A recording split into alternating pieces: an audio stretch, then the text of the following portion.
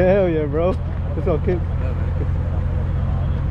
Doing the voucher on like all the way up too. Yeah, I saw it. I saw it on their page, bro. I can't wait to take this shit. You just Oh, do stock exhaust to this? Yeah. Oh, hell yeah. I had a fucking muffler delete. I'm like, man, I'm tired of this shit.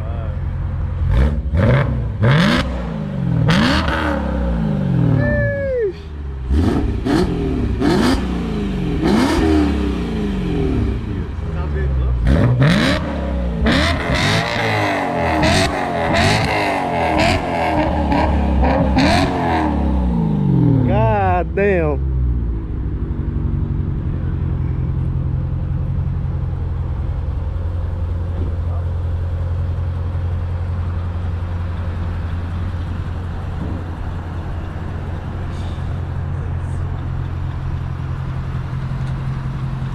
I'm happy.